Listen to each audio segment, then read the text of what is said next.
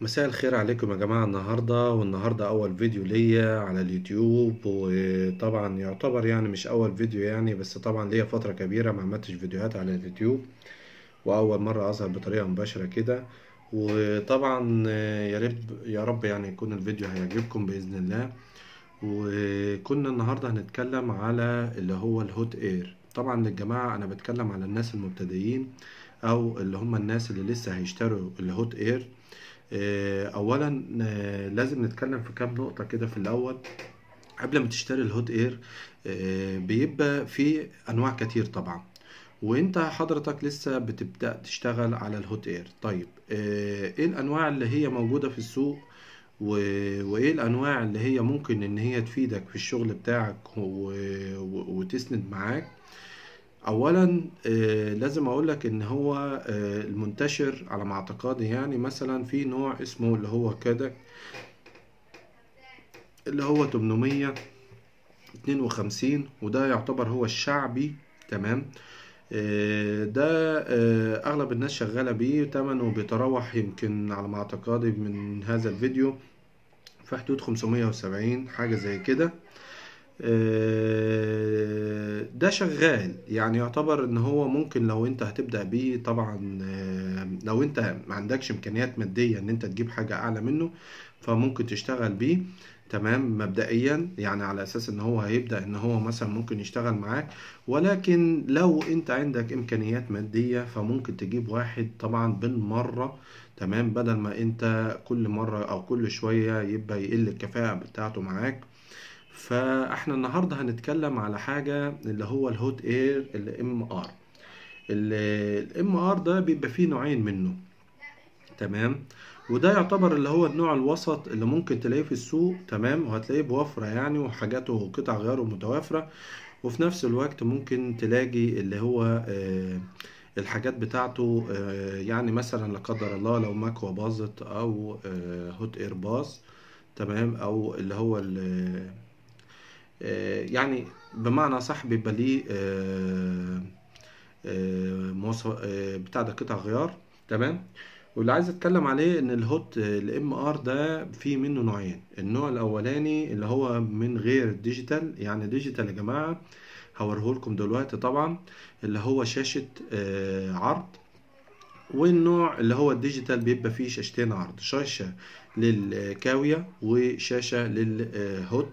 ودي طبعا بتبين لك درجات الحرارة اللي هي بتبقى عليها ساعتها سواء إذا كان الهوت أو الكاوي. طبعا هتقول لي آه عايز تفضل النوع إيه أو اللي هو النوع اللي هو هيقضي معايا؟ والله أنا بقول إن هما النوعين كويسين بس طبعا دي مقدرة مالية من عندك. لو أنت حابب إن أنت تشتري أو معاك فلوس تشتري طبعا الشاشة ال digital هتريحك طبعا في موضوع إن أنت بتشوف درجة الحرارة وبتظبطها يعني قدامك. وطبعا بالأخص إن هو ال hot air ده بيبقى واصل معاه حاجتين جداد اللي هو شاحن USB يعتبر زي منفذ كده USB تشحن ممكن منه الموبايل أو تشغل منه أي حاجة. وفولت تسعة تسعة فولت ده طبعا بتدخله على أساس إن أنت بتشغل معاه الأفوميتر. لو أنت عندك أفوميتر بدل ما كل شوية تدخل الحجارة وتطلعها وكده فهو بيشتغل بحيث إن يقوم لك الأفوميتر. تمام؟ آه هنبدأ دلوقتي. ده بالنسبة للموضوع النظري بتاعنا. طبعا إحنا ما قلنا إن هو من وقت الفيديو بتاعنا اللي إحنا عاملينه. ال MR اللي هو ال hot اللي هو من غير شاشة digital في الوقت اللي إحنا دلوقتي الفيديو ده بتاعنا يعني اللي إحنا عاملينه بيتراوح ثمنه في حدود 750 تمام؟ ممكن تلاقيه اغلى بخمسين ممكن تلاقيه ارخص بخمسين فدي اسعار سوق. اما ال hot ال digital ال MR اللي هو 852 دي تمام؟ ده آه تمنه ألف جنيه وأنا لسه جايبه من قيمة آه ما كملتش التلات أيام أو أربع أيام. وحبيت آه أوريهولكم وأوريلكم إزاي أول حاجة ال hot بيستعمل. يلا بينا يا جماعة نشوف ال hot إزاي بنستعمل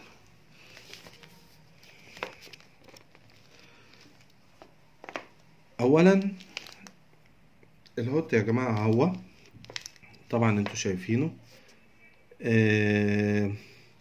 مبدئيا آه، ادي أدي الهوت بتاعنا.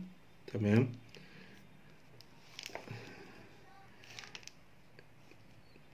ده يا جماعة الهوت بتاعنا. طبعا هنبدأ نفتحه.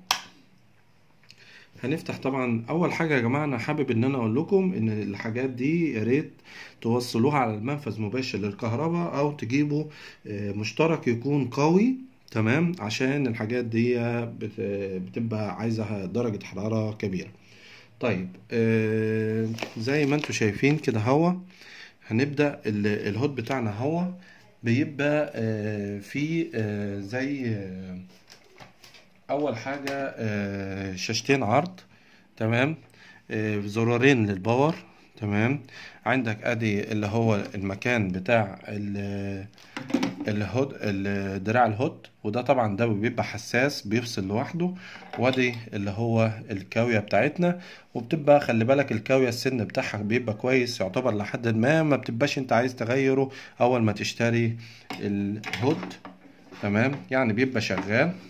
هنبدأ نفتح أول زرار يا جماعة اللي هو طبعا مديني زرار power اتنين.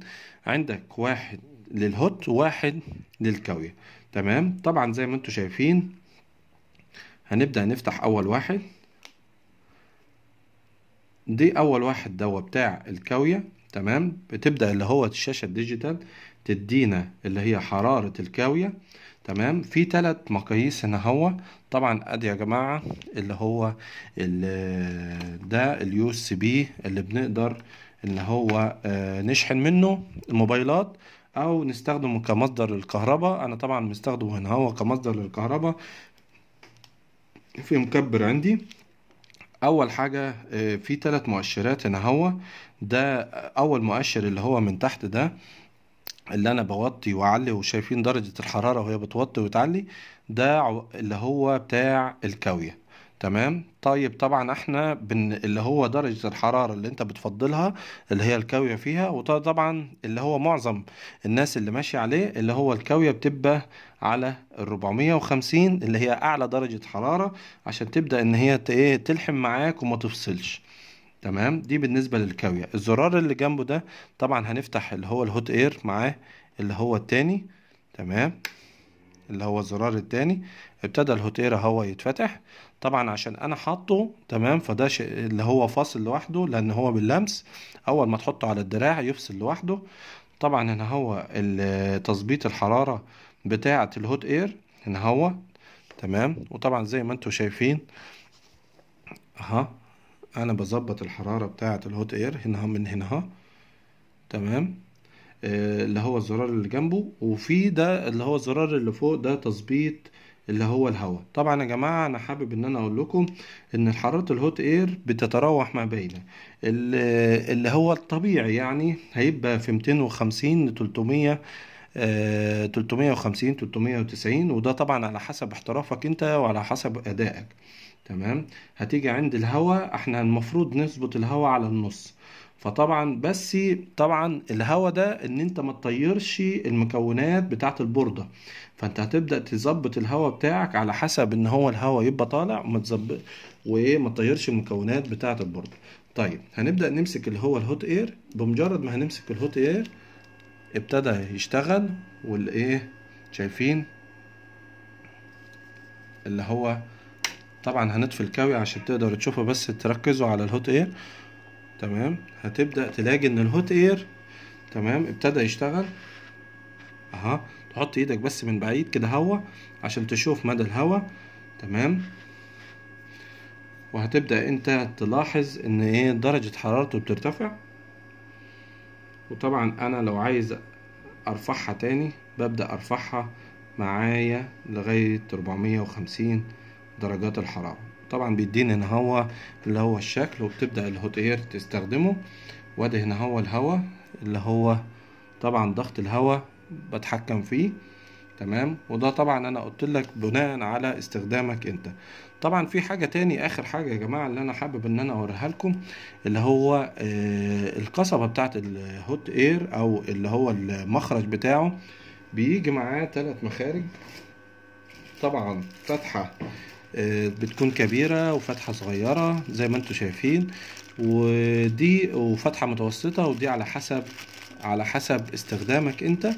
تمام؟ بتقدر تستخدم إذا كنت انت مثلا حابب اللي هو فتحة متوسطة ماشي اللي هو فتحة اللي هي الصغيرة ماشي الكبيرة ماشي وبس أنا أفضل يعني الفتحة الصغيرة بالنسبة للبادئين عشان بتقدر آه، ما تسيحش أي مكون حواليك وتقدر تركز على المكون اللي أنت آه، ناوي آه، تخلعه من البوردة وده طبعا اللي هو السلك يا جماعة اللي هو بي- بيتوصل هنا هو.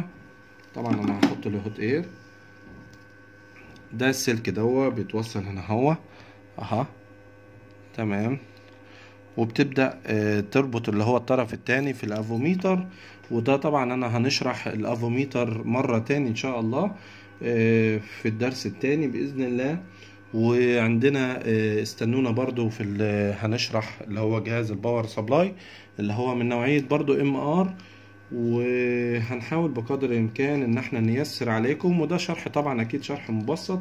واديكم شايفين كل اللي, اللي أنتم محتاجينه ولو محتاجين أي أسئلة أو أي استفسار آه، على النوع اللي هو MR يا ريت آه، ترسلونا ويا ريت آه، تكلمونا إن شاء الله.